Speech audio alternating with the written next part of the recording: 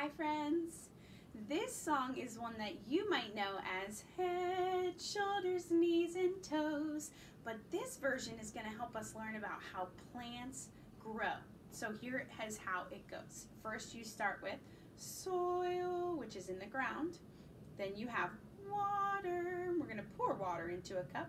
And we have air, which is all around us, and light, which comes from the sun. Those are our four motions, so it's going to sound like this.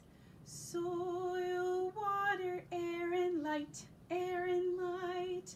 Soil, water, air, and light, air and light. These things help a plant grow right. Soil, water, air, and light, air and light. Can you try it with me this time? Here we go. Soil,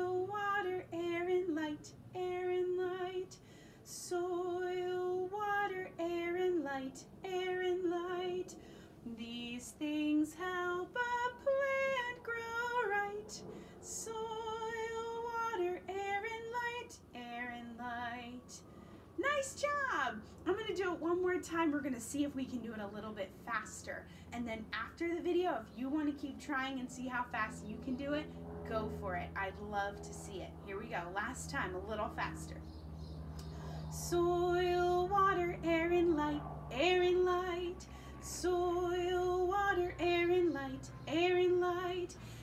is the